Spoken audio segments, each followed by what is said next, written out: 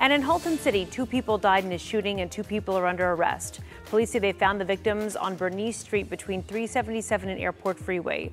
That was just before 2 o'clock Sunday morning. The suspects left the scene before police got there, but officers later took them into custody.